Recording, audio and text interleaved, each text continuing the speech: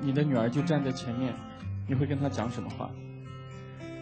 呃，我会跟她说对不起，因为爸爸这一年有一点自私，呃，为了自己的梦想，然后很很长一段时间没有回去看你，呃，其实爸爸很想念你，然后呃，也希望可以陪在你身边。做这件事情的过程当中，我也一直跟自己说。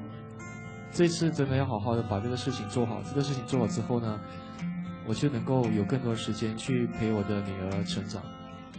其实阿牛刚才反复提到的这个事情，是他筹备了六七年的一部电影。作为一个成功的歌手，我可以去到处去演出挣钱，为什么还要自己贴钱？好像房子都抵押出去了来拍这个电影，为什么？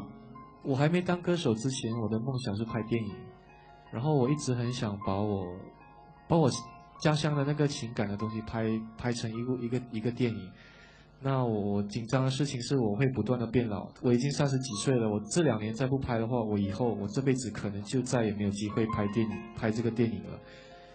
其实为了拍我这个电影呃，面对的压力是很大的，因为资金不足的关系，呃，公司里边发生了很多的矛盾跟呃争吵。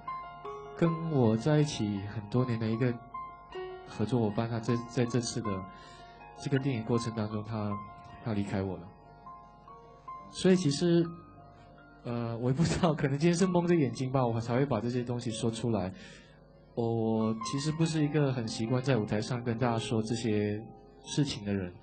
我可以今天在这里唱一首比较伤感的歌吗？好，这首歌本来叫《北京的月亮》。嗯，然后我没有想到今天会回到自己的老乡福建来，我就把它改成福清的月亮。呃，我很久没有看到我女儿了，然后在福清这里呢，我唱这首歌，我不知道她听不听得到，我也不知道什么时候她才懂得这一首歌里边的意义和我里边的感觉。福清的月亮圆又圆。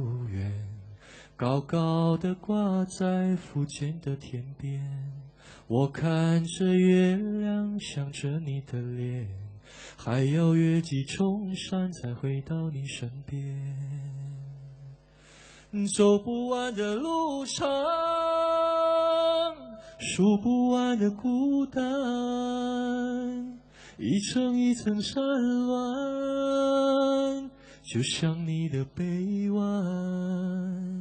愿那黄色月亮温暖你的脸，等那月儿弯弯，我回到你身边。